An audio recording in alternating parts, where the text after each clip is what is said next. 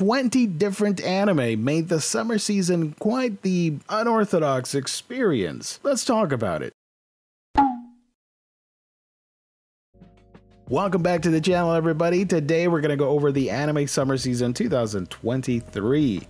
The first one we're going to talk about is Level 1 Demon Lord and One Room Hero. The story in a nutshell tells the story of Max the hero and his companions. They defeated the evil Demon Lord and now 10 years later peace has arrived and unexpectedly the Demon Lord has awoken earlier than anticipated but now he's in the body of a small child and he is seeking the former hero for revenge, a rematch of his encounter but what he finds is very surprising surprising. Max is sort of a shut in slob. He has some troubled history with uh, the general public and the media after a falling out because of certain actions that he took with some ladies out there, and that tarnished his reputation and sort of left him as a shut in. So, an unlikely friendship forms between the Demon Lord, who is now this cute, tiny kid, and Max the hero, and it was really wholesome. And if I had to pick one of the best best couples for 2023 is definitely Max and the Demon Lord. They have a really nice chemistry, and at first, Max is unsure of how it's gonna go because, you know, this is his former enemy, Nemesis, if you will. But as the story moves along with more comedic beats and all that stuff, they actually get along pretty well and form a friendship. And the Demon Lord is trying to help Max get back into shape and become that hero that everybody knew. So that is one of the main shticks of this series series, and if it stayed like that, I feel like it wouldn't make an impression. Fortunately, the series goes into pretty interesting political subplots as you see a neighboring territory that one of the former heroes has claimed for himself and is building a country out of it. And the main piece of land, the main continent, is upset about this because they feel that land belongs to them. So there is political agendas and arguments and fights and all that stuff. And that is sort of going to force force our hero to pick a side or pick nobody's side. And I thought that was really good. Overall, level one Demon Lord, it's funny. I liked it. I think it replicates the art style of the original manga pretty well. It's a nicely done adaptation, and because the manga is still ongoing, the story isn't too far along, so the anime had to improvise certain scenes, add a little bit of filler here and there towards the end, but it was actually really well done. If I could pick one negative aspect about it would be the actual animation for it. I don't think it's up to par when you compare it to Tofu's art in the manga, which I do think is superior in every way. But overall, it's a fun anime to check out. Synduality Noir. This story takes place in the not so distant future of the year 2222 or 2222, however you pronounce it. It's been years since the Tears of the New Moon, a mysterious rain, poured and wiped out almost the entire human race. The poisonous rain gave birth to deformed creatures devouring humans, and humanity has fled from the danger. As a means for survival, the humans then build an underground haven. In this newly built dystopia, dystopian city. In pursuit of maintaining their existence, they run into artificial intelligence named Magus. Not knowing how things will work between them, this is the story of how humans and AI coincide and work together towards finding the truth. I first learned about it because of the game that's coming out called Synduality Echo of Ada. This was announced a while ago as of the recording of this video. It's a third-person shooter action RPG developed by Game Studio and it is going to be published by Bandai Namco Entertainment. Synduality itself is a mixed media project. That means you're getting anime, manga, light novels, video games, I'm sure figures, and all that cool stuff. I'm pretty sure they're going to do a cell phone game. I don't know. I thought the anime had some really nice ideas. I like the whole mecha roller skating units to fight these weird monsters. That's cool to defend uh, what's left of humanity and all that stuff. Fantastic. I like the idea of the AI Magus and how they are incorporated into the machine and with their pilot and all that stuff. That's pretty cool. Now, where Synduality Noir loses me is that out of the 12 episodes that aired, you really don't get a whole lot of plot development, and what little you do is left for the back burner in favor of standalone episodes, comedic scenarios, uh, drama between the characters that ultimately doesn't amount to much when it comes to the main plot of the story. And we know it's not going to go that route because it is mixed media, it is part of a larger world building exercise. I'm pretty sure that when we play the game, it's going to fill in some gaps. And when you read the manga or when you read the light novel, etc., etc., it's going to fill in gaps for the overall mythos of this franchise. So, in that regard, I was not loving Synduality Noir. I think the animation studio that worked on it, which is 8 Bit Studios, I think they did a really good job. Everything looked nice because it's Bandai. I like the little nods to arcade gaming, but like I said, it's the hollow bits and pieces from a missing plot that really hurts Noir from being something more. It was fine, and by the end of it, you do get some type of explanation to whatever the heck's going on, but we really don't know. We get characters that can feel stereotypical, and we get a lead pilot that is unsure of himself and goes through the whole motions of, of self doubt and uh, gaining that self esteem back and becoming a better person. And and a better uh, pilot,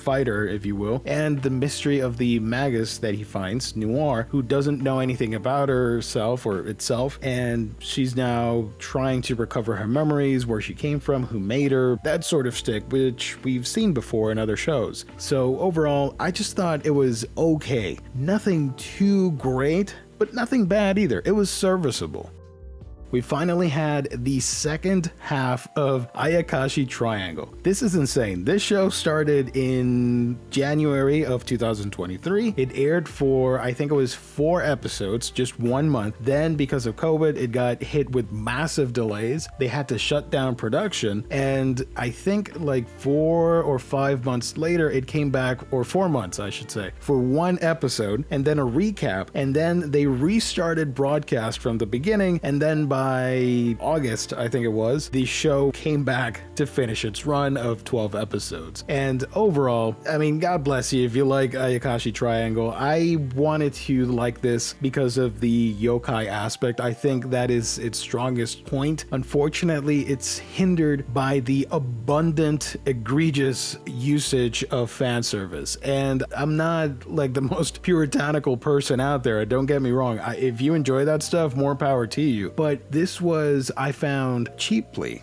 made it's just so comically oriented towards the fan service that it deterred from me taking any emotional aspect out of the story. I really did not care what was happening because at the end of the day, I knew it was just a, a scene was setting up another scene to lead into fan servicey stuff. Even at its most dire, you still get that stuff, which kind of ruined the excitement for me. I do like the fact that they're using the Ayakashi stuff and uh, Shirogane, the cat. I think he's wonderful He's my favorite part of the show, or I guess the manga. So uh, that was fun. But I, I, I, don't know. This felt like a very early odds uh, fan servicey anime that somehow snuck into 2023. And I am so sorry uh, for the people that love it. Uh, I, I'm hating on it, but. Uh, you do you, that's awesome. I also enjoy some things that people don't like, so it's a trade off, I guess. The girl I like forgot her glasses. Essentially, this is a rom com adapting the manga of the same name. The studio that worked on it is GoHands, which has a reputation, which I'll get to in a minute. The story is about these two kids who are friends at school, and the boy is in love with the girl, but the girl is kind of a ditz and she keeps forgetting her glasses, which leads to comical things happening in the story. Now, the bigger twist here, if I can even call it that, is that she's always forgetting her glasses, which is pretty silly eh, because in real life you would fix that right away, but for the purposes of this show, it's going to continue happening. I think the biggest thing here is the fact that the two lead characters are cute, wholesome, and you want to root for them. Now, the art, on the other hand, I thought it was great. GoHands did a phenomenal job. It got some heat when it first started because of their usage of 3D motion and the way everything was zooming in and out like a friggin' fisheye lens or an early 2000s music video, and the fact that Mie's hair was, as I've heard online, kind of symbiotic in nature. It took a life of its own. In a regular scene, she would move her head and the hair would keep on moving. But as you went along with the series, that died down significantly. Unfortunately, with rom coms, especially with the high school romance subgenre, if you will, it's always the same format of these episodic adventures at school, and what little progress is made is saved towards the end. And when the finale comes, there's a big uh, twist or uh, improvement in said relationship, which makes you hopeful for another season. And then it's sort of a rinse repeat scenario. So, in that aspect, I was a little bit disappointed. Then again, I'm so used to it by now. I've seen so many of these shows. So, yeah, if it does come back, that's great. But I don't think this is a show that I'll uh, come back to. But it was cute nonetheless.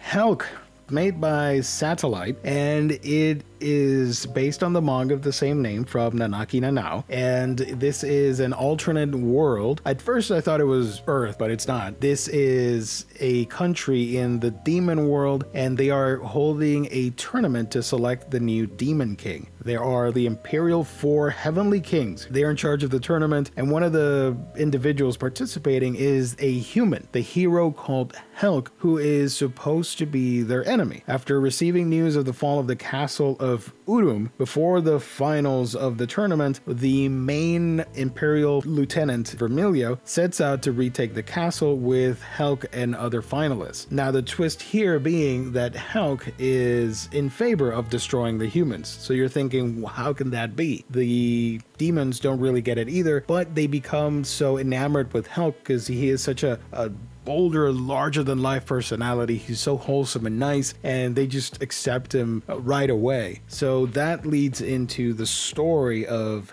Helk. There's a lot of stuff that happens in this, which I'm not going to reveal. I didn't think I was going to love it at first. I thought it was going to be sort of middle of the road for me. But as I started watching, it had that quirky combination of it being action packed. It doesn't take itself too seriously, but it has dramatic moments. I like Vermilio. I think she is the best aspect of the show. I like how she's so upset that Helk, this human, is participating in this tournament. It's sacrilegious, but everybody around her doesn't seem to mind. The contestant all and the audience all seem to love Helk, and they're going in applauding his every move. And you're thinking, is Helk really here to become part of this realm? Isn't he like a spy? Doesn't like is there a hidden agenda? Isn't he supposed to hate demons because he's a human? Vermilio, of course, figuring out that maybe I can trust this guy and setting aside their differences or her prejudice to allow Helk to help her retake the castle castle and all that stuff. So, yeah, that in a huge nutshell. I'm, I'm all over the place, but bear with me. Every episode ends on a great cliffhanger. Not everybody can do that properly. It takes finesse to end your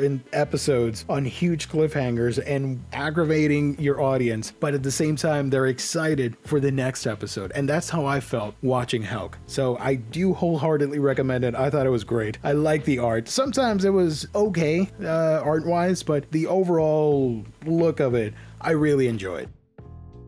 My Happy Marriage. This came as a surprise. I didn't know about it. And the fact that this was done by um, Kinema Citrus was interesting, but it had me concerned because they made Made in Abyss, which artistically speaking is fantastic, regardless of what you may think about the plot. But the visuals on the show and the movie are phenomenal. They also made Rising of the Shield Hero. Season 1 was great, but season 2 was horrendous, in my opinion. So 50 50 here. I was a little bit nervous going in, and I am happy to say that I absolutely love this, and it was the highlight of the season for me. And I'm telling you right now, easily one of the best shows of 2023 and one of the best shows of the season. So we follow the character of Mio, who lost her birth mother at a young age and ended up growing up being abused by her stepmother, stepsister, and father, unfortunately, despite her being born into a noble family. Now, this is an alternate Japan Where the supernatural stuff exists and they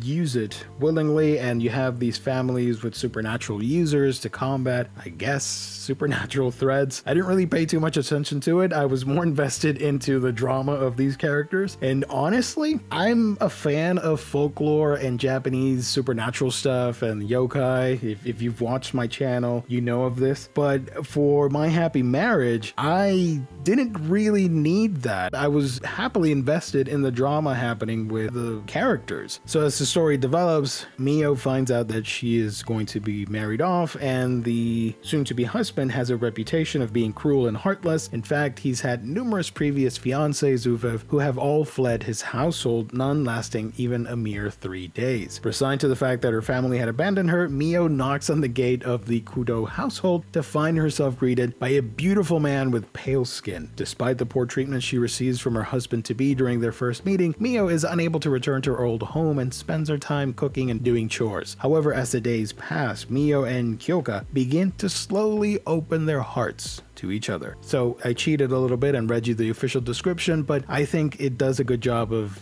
letting you know what this series is about. I think it was wonderful. I love Mio and her relationship with uh, Kyoka. I was extremely pissed off at the treatment that she received from her stepmother, stepsister, and father. That was hard to watch at times, and I was really annoyed, but it felt like watching a good soap opera. I was so emotionally invested, and I just wanted nothing but the best for this young girl. I enjoyed the art from Kinema Citrus. Like I said, they knocked it out of the park. I think it's one of their best works so far, and you really did feel like you were part of that world. It really transported you to that era, in my opinion the relationship between Mio and Kyoka and the marriage uh, takes the full season to fully develop and resolve itself somewhat. But the main aspect that surprised me was the fact that when they find out that she's going to this house, uh, the stepsister is a little bit jealous and they're plotting things to ruin that marriage and all that stuff. I was surprised that that was cut short and it resolves itself halfway to the season. I thought it was going to be a full subplot to it. But no, overall, fantastic characters, a well written show. I've heard from fans of this franchise that the anime speeds things up and changes a few things, the pacing and all that stuff, and omits stuff from uh, the original light novels, which I suspected, you know, that not everything's going to be adapted 100%. But as a non light novel reader, I got everything. I loved it, and it made me excited to watch more. So I'm looking forward to the second part of this story to air, which is going to be next year. Reborn as a vending machine, I now wander the dungeon. I was really excited. It's so quirky and dumb. The fact that it's an isekai series and the main character, he is a huge nerd, and after a traffic accident, he dies and is reborn into another world as a vending machine. Sure, why not? We're gonna go with that.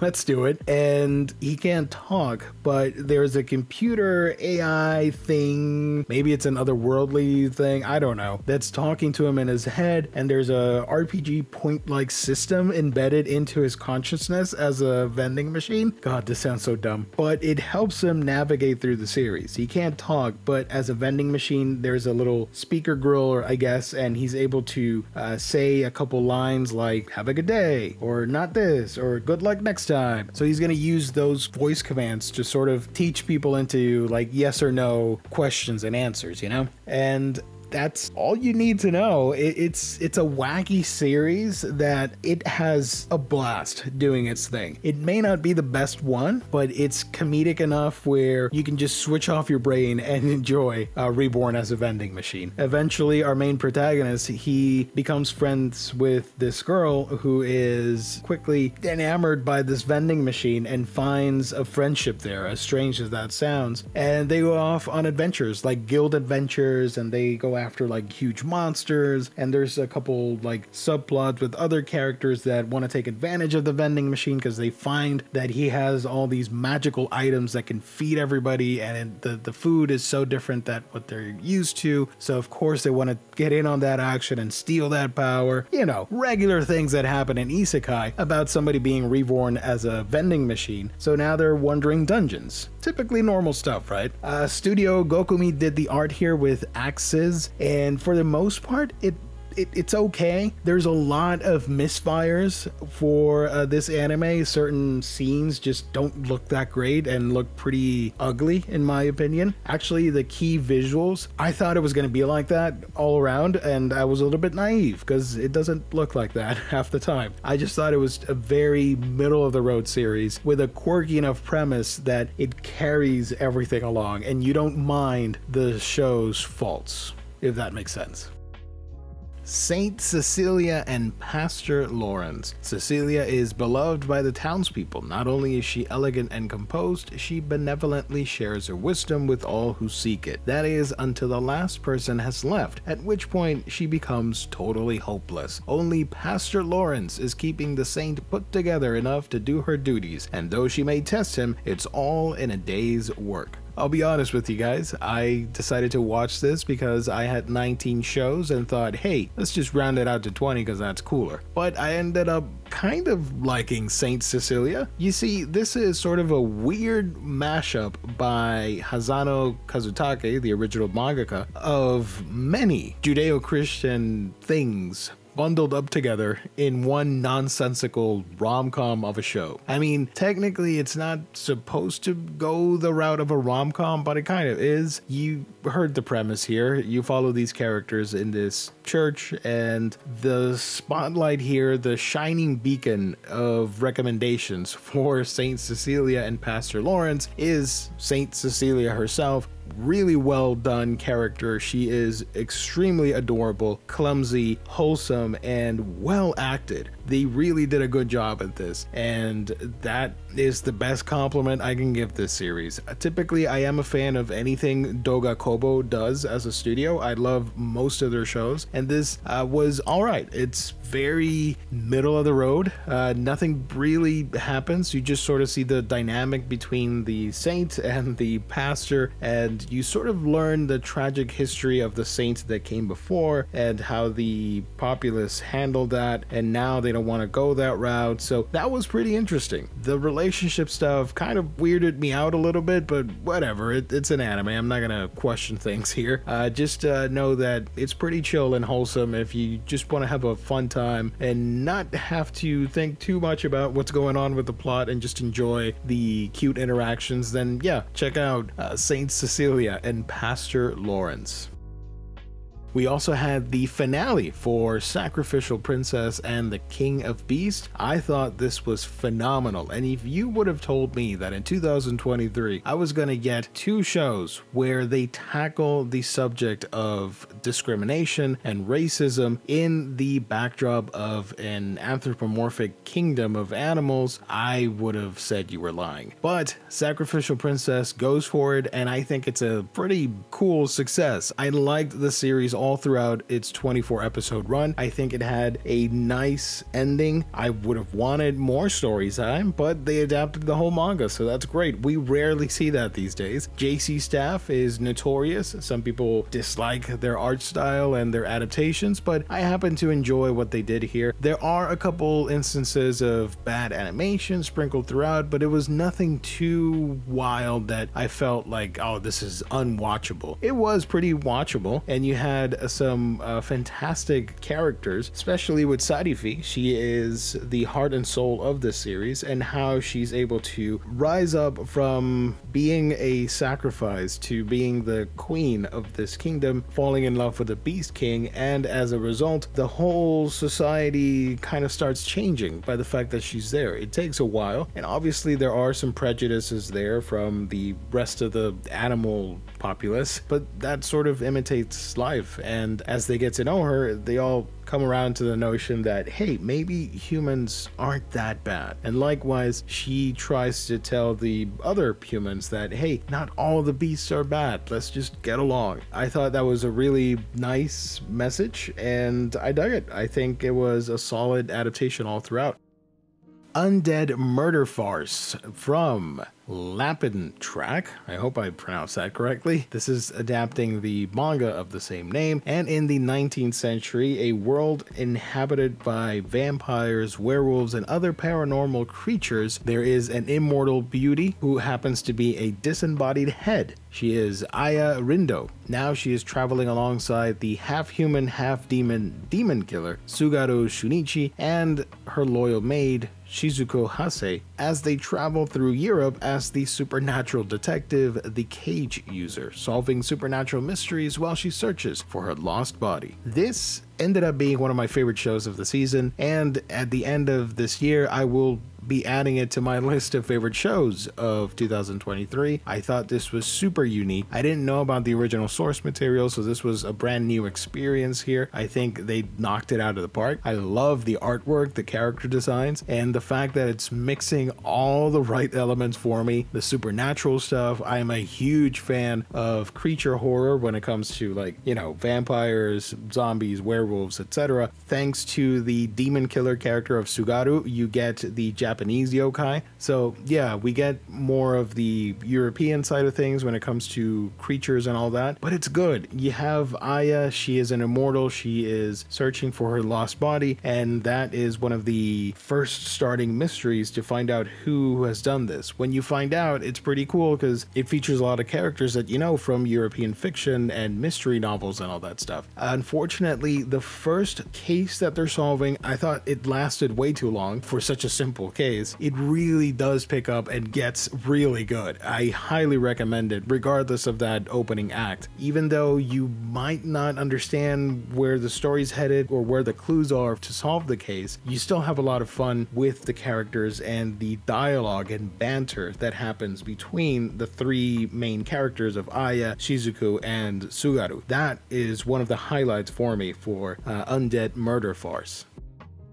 I really wasn't going to watch Jujutsu Kaisen season 2. I have to be frank with you guys. I don't understand yet why I don't like it as a lot of you do. I think it's well made. I enjoy the reading the manga, even though I'm not up to date with it. I like what Mappa's doing with the anime, but for some reason it just doesn't really click with me, which is weird. I don't mind shows like this, but here we have season two, which I think is a lot better than season one uh, from a technical standpoint. I can't really form a huge opinion on it, but the first part does deal with Gojo and Geto, younger versions of them, obviously, as they are escorting a young Riko Amanai to Master Tengen. That's six episode arc I thought was great. That could have been a movie and it would have been amazing. Seriously, Mappa was just flexing hard with the animation at work with uh, with those six episodes. Then the Shibuya incident arc begins and we're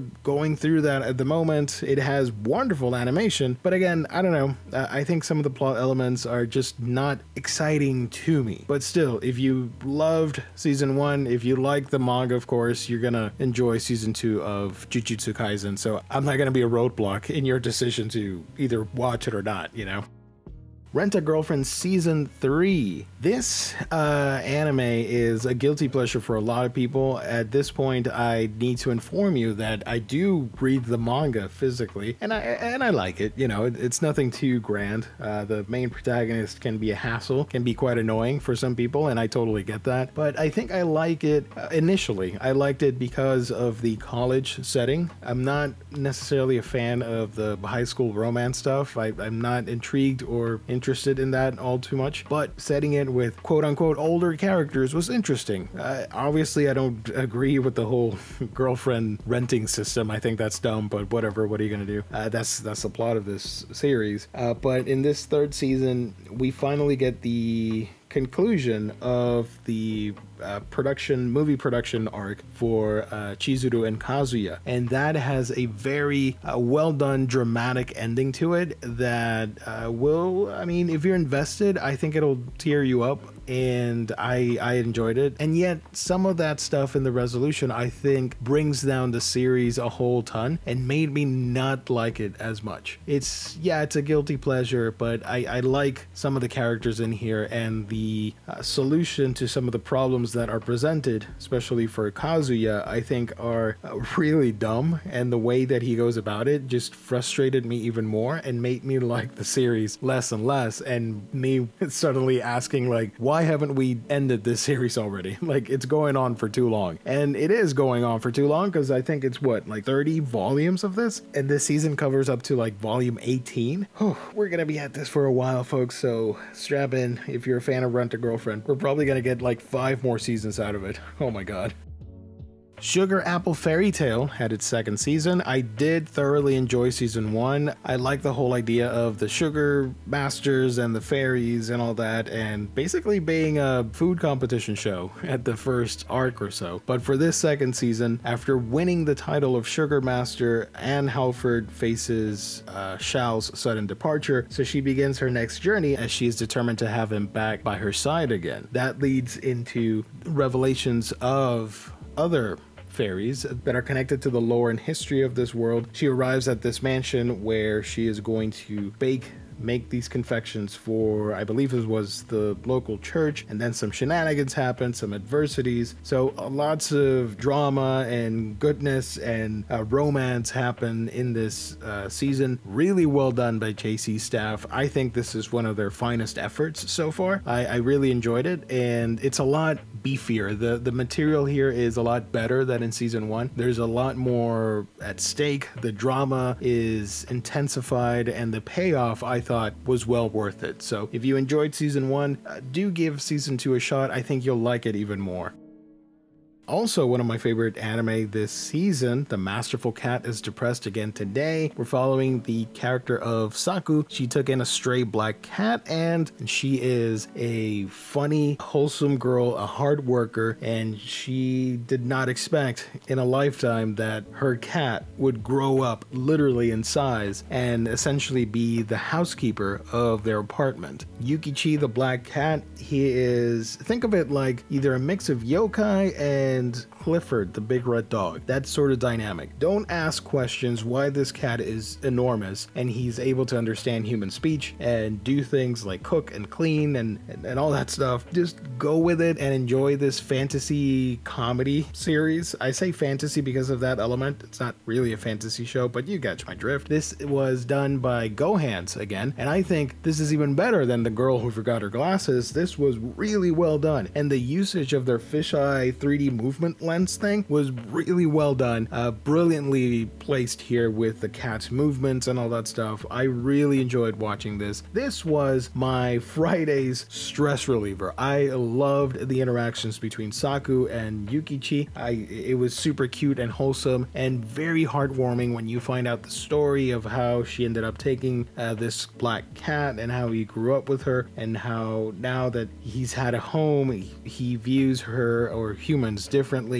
it's very heartwarming. If you're a pet owner, if you like pets, it's gonna tug at your heartstrings while also make you laugh at the absurdity. And yes, absolutely. If I had a cat that could do that and was big enough to cook and, and, and help around the house and all that stuff, that would be amazing. So, wish fulfillment anime, I don't mind. I welcome it. So, definitely check out The Masterful Cat is Depressed again today. I think it's solid. Yukichi's reactions to everything that Saku does is hilarious, and he's definitely the, the backbone and, and heart of this series.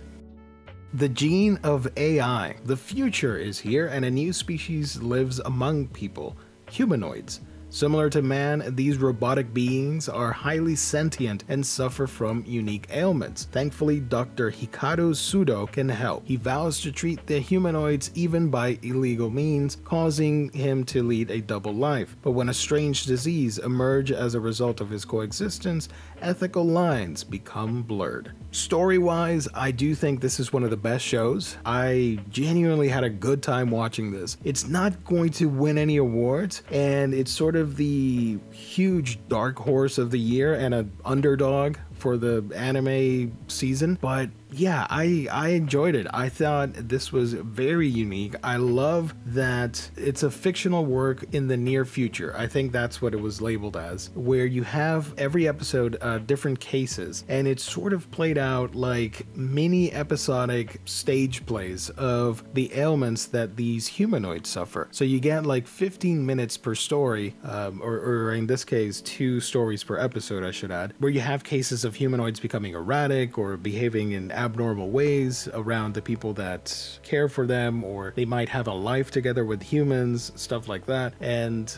Hikaru's process to treating them and finding a cure. It doesn't necessarily always works, so it leaves you on a sour note or a cliffhanger that doesn't need a resolution. It's more about the experience and what you thought of it, and not necessarily bringing us a definitive uh, ending point for that plot. So I liked that aspect of Gene of AI. I thought this was a greatly written show, wonderful dialogue, and it doesn't bog you down with the specifics of uh, the world building with the technology and how the humanoids are supposed to work. You don't really need to fully grasp that. You can enjoy the series for what it is, presenting very human problems in the near future and trying to find some solution and, and understanding life when all these new elements elements are present. So if that piques your interest, I think you're gonna have a fun time with the gene of AI. Definitely check that out. I don't think it's gonna get the love it deserves. So if this video can help it out in some shape or form, I'm more than happy to continue recommending this series. Bleach Thousand Year Blood War The Separation. This is the second part of the Thousand Year Blood War adaptation, the last part of the Bleach manga. And I gotta say, I liked the first part. I thought it was great having everybody back. Studio Pierrot obviously evolved immensely. The art is amazing. But in this second part, out of the 12 episodes, or 13, I think, I don't know, it was mostly, I would say, 90% fights of the week with the different characters and the Soul Reaper captains and lieutenants against the Quincy's. So every episode was a different captain taking on a different Quincy. You see their abilities. The Soul Reaper has an amazing uh, technique that we've never seen before. He fights off the Quincy. The Quincy reveals that he has a secret technique that we've never seen before. They trade blows back and forth, and there's a winner and a loser by the end of it. And then the next episode, we do that with another set of characters. So that's 90% of this season, which is great if you're a fan of these characters, but I kind of wanted more. also, the biggest part are the final three or four episodes when the bad guys take the fight to the royal palace with Squad Zero. That's definitely the highlight of the entire set of episodes. And by the end of it, it's a very underwhelming season finale. Obviously, we're gearing up for the next batch of episodes and the final confrontations and all that epic stuff that happens towards the end. But this middle portion here was just alright, nothing too crazy, in my opinion. It was cool to see the characters back, but it was just okay. For some strange reason, I decided to watch one other isekai, and that was Am I Actually the Strongest? After being a shut in, Haruto is reincarnated as a baby, and amazingly, the baby is a prince. However, he's abandoned in a forest on the day he's born because of his low magical level. What will be the fate of Haruto, who has inadvertently given 1000 times the normal amount of magic by the goddess of reincarnation without anyone noticing? That sounds like a fun little weird premise, and it's alright. I do like the fact that he starts out as a baby and he is spared spoilers, and one of the locals uh, picks him up and raises him, and you see his development as a young kid, but it doesn't go the Mushoku Tensei route, which we're going to talk about later. This is a much more wholesome meets ecchi tropes, if you will. So as Haruto grows older, he is protecting his family, but then he finds out that the royals uh, don't necessarily know that he survived, but he, if they did find out, it could spell doom and disaster for his family, so he's going to protect them. Uh, the queen is a little bit cuckoo, so he's wary of that, and he makes up this uh, Code Geass uh, Lelouch type persona to act sort of like a vigilante to fight across the kingdom. It's it's all right. It's very middle of the road for me. I was not thoroughly enjoying it, but again, I don't know. I'm a masochist, I guess, and I wanted to keep going so that I could keep that 20 anime mark for the season. Uh, I thought it was all right. It, it got sillier as it went on, and I was less interested than I was at the beginning, if that's an indication for my excitement of this series.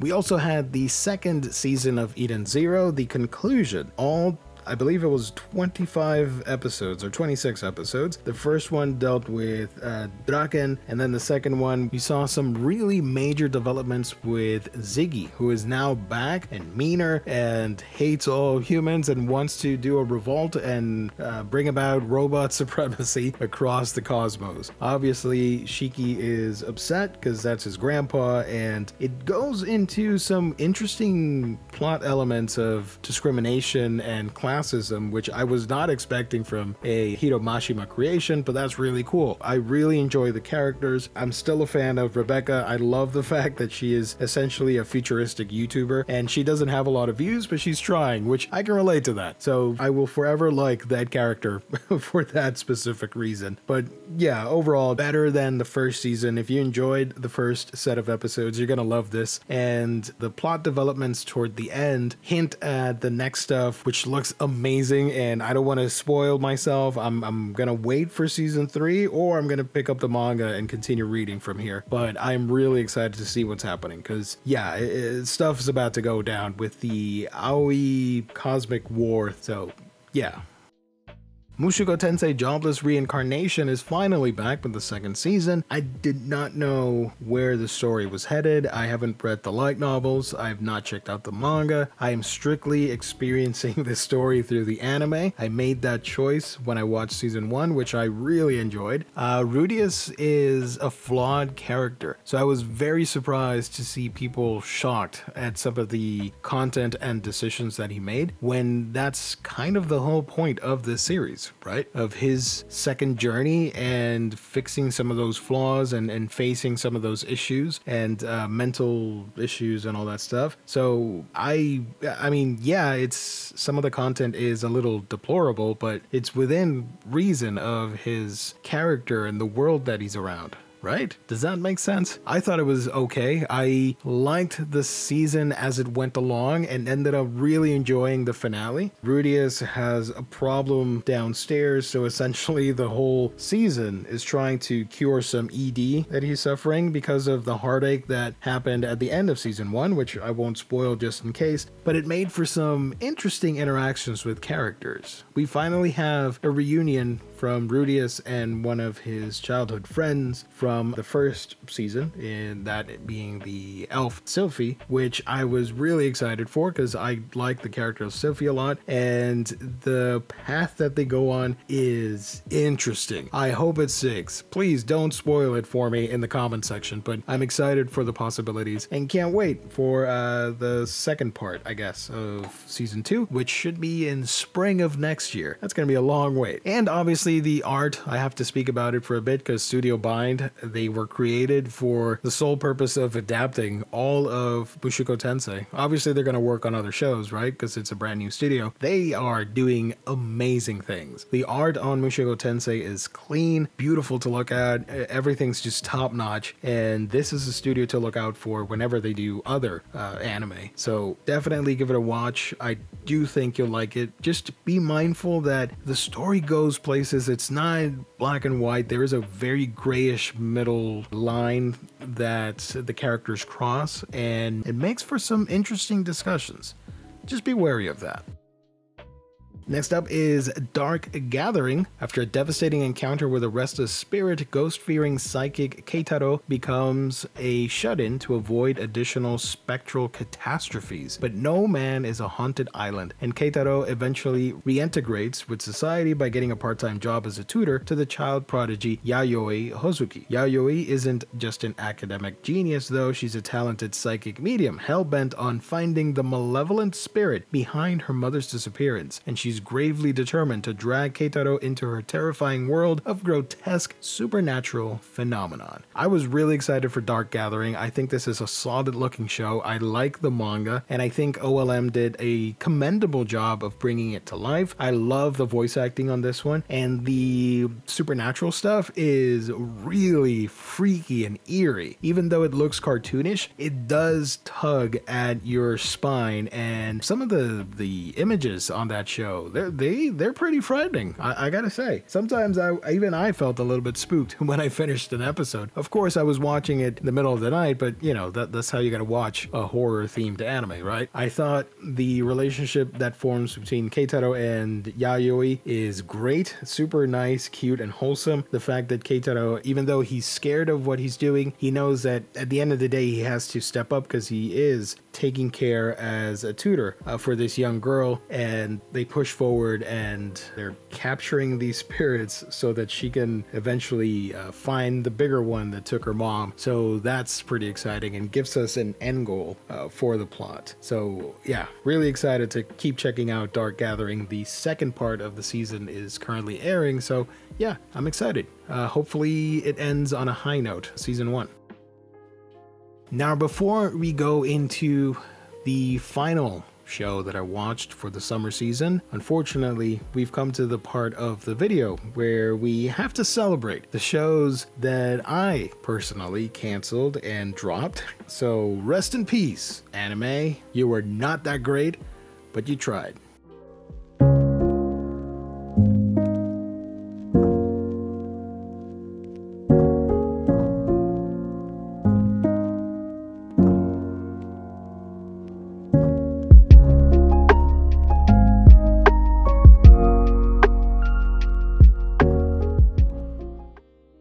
The final anime that we're going to talk about is Zom 100 Bucket List of the Dead. I really like the premise for this. It's unconventional. You are deconstructing the zombie genre by adding a new flavor, a new twist to it. Instead of just a straight up survival story in a zombie apocalypse, it's more about fulfilling your desires, crossing those bucket list items, and finding a life worth living and not being bogged down by uh, all the negativity and all the bad stuff that happened in your life and not letting that define who you are as a person. That is the core theme here for Zom 100. It just so happens to take place in the middle of a freaking zombie apocalypse. So yeah, I love me some zombies. I, am a huge fan of that genre, uh, one of my favorites when it comes to horror. And I think Zom 100 is very cool and inventive when it does its thing with the zombies. Uh, this is done by Bug Films, a brand new studio adapting the manga. I think they've done a phenomenal job. The first couple of episodes are near movie quality,